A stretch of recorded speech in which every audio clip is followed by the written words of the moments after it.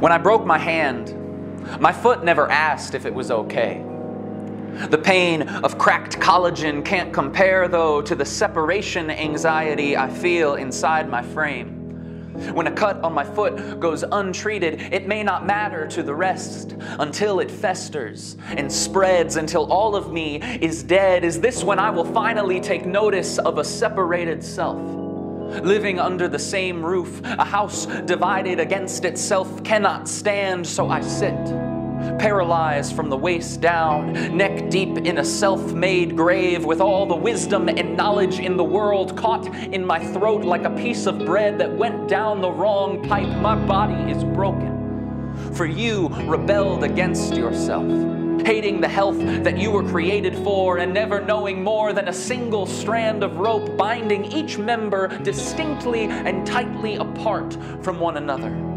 Brother from brother, sister from sister, uncaring for how the family is faring, yet still daring to call itself one nation under God, indivisible but not so prime. Liberty and justice just this time, because every day my eye tries to tell my waistline that it doesn't belong. But so long as you banish all that which is not perfect, you will have nothing to stand on, touch with, or see through. You cannot exist apart from you. Who is the sum of our parts, doing our part? What one can start, another can end.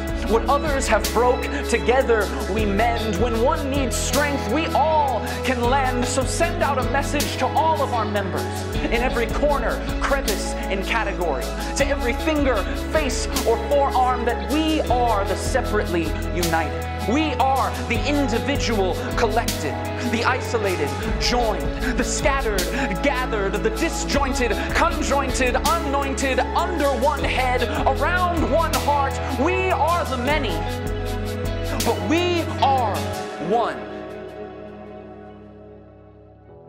Friends, thanks so much for watching today's video. I hope you enjoyed it. Real quick before you go, I wanted to let you know that today's sponsor is Unbound. Unbound is a platform that helps students like you save tons of money on their bachelor's degree. They'll show you how to earn a bunch of credits with less expensive online courses that they guarantee will transfer to your school of choice. Whether you're already in college or you want to be, each course you take could potentially save you thousands of dollars on your degree. My brother-in-law is actually currently an Unbound student, and he says that his favorite part of it is that everything is self-paced. You can go as fast or as slow as you want through the course as long as you get your work done on time. It's kind of like a spoken word poem. I can speak as fast or as slow as I want as long as I get to the end of the line. If you want to do college at your pace and on your terms, then make sure that you visit the link in the description, getunbound.org slash Jon to get a free quote and save money on your degree. Chris, you should do Unbound. Chris is hoping to go to college, and he's figuring out right now what the right avenue for him